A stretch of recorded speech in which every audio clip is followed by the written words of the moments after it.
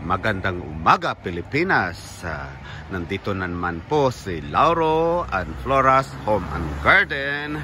At ngayon po kararating lang po namin uh, dito sa United States galing po sa Pilipinas. Nag-take po kami ng bakasyon for almost one month. Ngayon po umagang umaga po dito at kinukunan ko po ngayon ang aking mahal na hardin po dito ngayon. Kung ano yung makikita nyo po dito, maraming dumi ngayon po. Kasi siyempre, halos isang buwan na nawala po kami ngayon dito sa aming bahay. Kung makikita nyo po ngayon po, ang dami pong naglaglagan na po na dahon. Pero ngayon kukunan ko po ngayon para malalaman ko po kung ano po yung mga pwede pang pakinabangan ng mga bulaklak po dito po sa amin ngayon. Okay. Leda po kayo, lilibutan na po natin kahit na marumi. Yan po, mayroon pa rin po kaming mga Xenia. Yan. Okay. Ito yung autumn sedum. Oh, mayroon pa rin palong-palong. Yan, ito po yung tinatawag nila po na blanket flower. Ang dilaw. And then mayroon pa rin pong aster. Yan po yung bigonya ko. Andun pa rin po. Marong mayroon pa rin. Yan. Palong-palong dito yan. Ganito po yung itsura po dito po sa Amerika. Pag sa fall na naghulugan na po yung uh, tahot buti nga yun mga halaman ko po hindi pa nagpo-froze yung mga iba. Kasi itong dahlia okay tatanggalin ko po yung uh, tinatawag nilang bulbs niya po. At susungkitin ko po yan. Kasi pag once na mag-froze na po yung dahlia mabubulok na po yung kanyan bulbs niyan pag hindi po susungkitin. Kasi po dito sa amin masyadong malamig po pagdating sa winter. Yan. Magod po dito. Ah buti nilinisan ng kumpare ko po yung sasakyan po namin. Tinanggalan niya po yung tinanggalan niya po yung dahon-dahon sa taas kasi maraming nauhulog uh, pinapos sideways yung pagka-park ko sa sasakyan namin. Ah, nilinis ni paring ding. Salamat. Ah, marami pa rin pong dahon po dito. Yan po siya oh, dami. Nilinisan ko po ulit mamaya. Papaguhin ko rin pag-park ko ngayon dito yan, success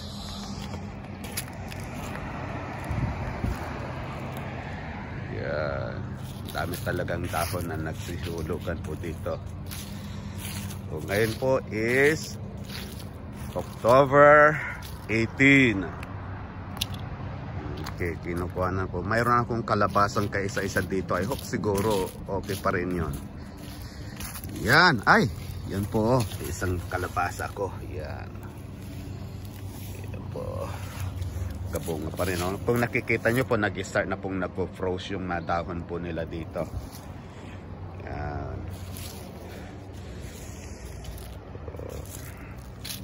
Yan. Oh, buti na. Tapos, ito po yung dianthus ko po. Mayroon pa rin kaunting-kaunting bulaklak. Lilinisan ko po ngayon dito. Magbo-blower ako para matanggal yung mga dahon at ilalagay ko sa compost. And mayroon pa rin pong daisy. Yan po. Oh my God, it's so cold. Oh, it's getting cold right now in here. Oh my God, mas malamig kaysa sa... Oh my God, lamig. Yan po. Yan po yung mga kon ko Jerusalem artichoke ko. Yan po, kinakain po ng groundhog po yung dahon nila. Pero okay lang yan. Tiyusin ko na lang yan sa susunod yan, no. Uh, yan, no? Pinagkakain nila. Kasi siyempre walang tao po dito. Uh, pangit ng garden ko. Ibang iba talaga pag walang tao sa bahay. Uh, malaki na yung kan ko. Persimmon. Yan and next year to magbubunga na naman tong marami yan oh I hope na sana yung sili ko dito mayroon akong makuhang binhi Yan po, wala na yung bulaklak po ng lavender ko. Kapangit na talaga pag sa fall. Tapos ito, ay, mayroon pa rin pong bulaklak po itong kuan ko, Pax Club, oh. Po. Yan. Yan, yung palay ko po dito kasi sabi ko sa, sa kanila, nung wala kami dito, kunin na lang po yung mga bunga ng ampalaya ko po dito, pati mga dahon pagkukuhanin nyo na. Sabi ko sa kanila kasi pag mag-pros, wala nang makukuha. Pero meron pa rin akong kuhan, mga bell pepper, oh, see? Ang dami pa rin. Po sila, oh. Ay, may naiwan pa rin. Yeah. Tapos yung inangatan ko sana yung sili ko dito, mayroon pa rin. Ang daming bunga, oh. Kaso nga lang hindi nahinog, ah. Diyos ko, walang nahinog. Ayun. Meron pa nahinog na isa, oh. Pwede pa ito. Yan. Ang daming bunga niya, oh. Yan pa, maluya ko dito. Ito, uh, next week, i-harvest ko na to kasi para hindi na sila mag-frost kahit na medyo bata-bata pa yun. Kung makikita nyo po sila, oh, yung mga luya-luya.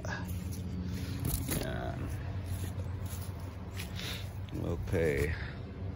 Okay, thank you so much again. Ito lang po yung update po namin. Pag sa fall, ganito na lang po yung mangyayari po sa mga harden po namin po dito sa Amerika. Thank you so much again. Yes ko, umagang umaga pagkagising galing Amerika at 18 hours po ang biyahe at uh, tinignan ko kaagad po pagkagising itong garden ko po dito. Maraming maraming salamat again and have a wonderful day. Bye bye.